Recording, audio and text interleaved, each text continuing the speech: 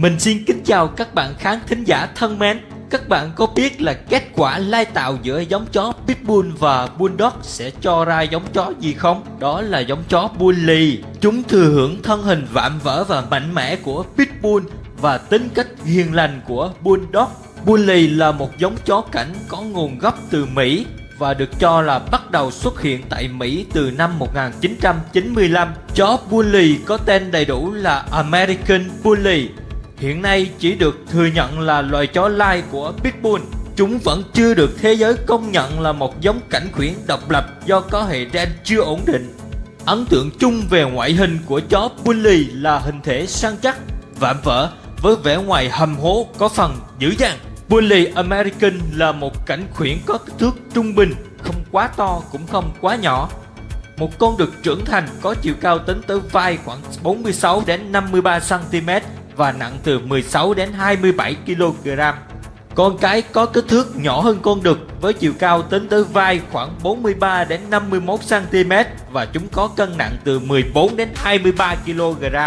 Chiều cao của Bully tuy thấp hơn tổ tiên của chúng là giống chó Pitbull, song đổi lại Bully có thân hình cơ bắp và săn chắc hơn. Về phần đầu, American Bully có cấu tạo hầm hố và đồ sộ hơn so với Pitbull. Đầu của Bully có độ dài vừa phải nhưng khá sâu, vầng trán tương đối rộng và cách xa mắt. Khoảng cách giữa hai mắt cũng khá xa. Hai chiếc tay của Bully nằm cao ở trên đầu, có thể cắt hoặc không tùy vào người nuôi. Mõm của Bully cũng có độ dài vừa phải. Bully Mỹ có hàm răng chắc khỏe với sức nhai mạnh mẽ. Răng hàm trên và hàm dưới của chúng phải khít nhau. Chúng có thể tạo ra một lực cắn lên tới 305 psi. Đây là dòng chó khỏe mạnh, lì lợm nhưng vóc dáng trung bình, phù hợp với điều kiện nhà phố. Là một dòng chó có máu bít nên chúng rất năng động và hung dữ với chó khác. Thân hình của Bully mạnh mẽ và rắn rỏi. Khung sườn của những anh bạn này rất chắc chắn với những đường xương sườn được xếp khá gần nhau, bộ ức trên ngực sau, rộng và rất phát triển. Phần vai của Bully trông to hơn và chắc khỏe hơn so với tổ tiên của chúng nhờ thừa hưởng từ loài Bulldog. Lưng của Bully tương đối ngắn do phần bả vai nhô lên khá cao nên từ sau bả vai trở về mông của Bully thường hơi dốc, đuôi ngắn, vị trí thấp hung xuống, không bị quăng. Chó Bully có chân trước thẳng, hơi hướng ra ngoài một chút. Đôi chân này to và chắc khỏe. Hai chân sau của chúng có cơ bắp. Móng chân Bully cụp xuống và rất đều nhau các ngón chân có kích thước vừa phải, dáng đi uyển chuyển và mạnh mẽ trên từng bước đi. Đặc điểm màu sắc bộ lông của chó bully là chúng có lông ngắn, dài, sờ rất cứng, nhìn thấy mượt. Tất cả các màu vàng khoan, đốm đều chấp nhận được. Một số cá thể xuất hiện cả ba màu. Trường hợp này rất hiếm gặp và cũng là trường hợp có giá thành cao nhất.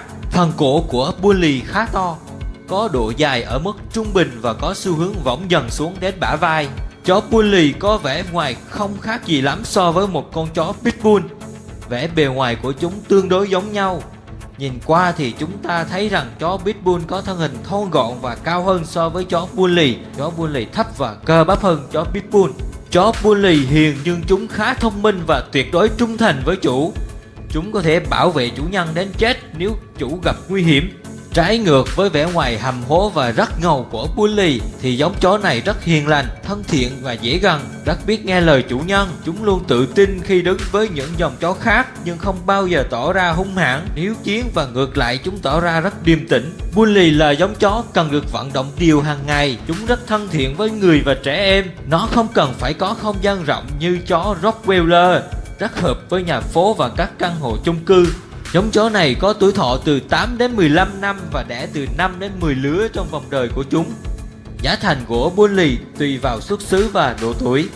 Giá dao động từ 7 đến 25 triệu đồng cho một chú bé dễ thương này nhé. Theo các bạn thì giống chó nào vừa tầm để thử sức với Bully? Hãy để lại ý kiến của các bạn ở phần bình luận bên dưới giúp mình nha. Cảm ơn các bạn đã quan tâm theo dõi. Đừng quên like, share và đăng ký kênh ủng hộ mình nha. Xin chào và hẹn gặp lại các bạn ở những video tiếp theo.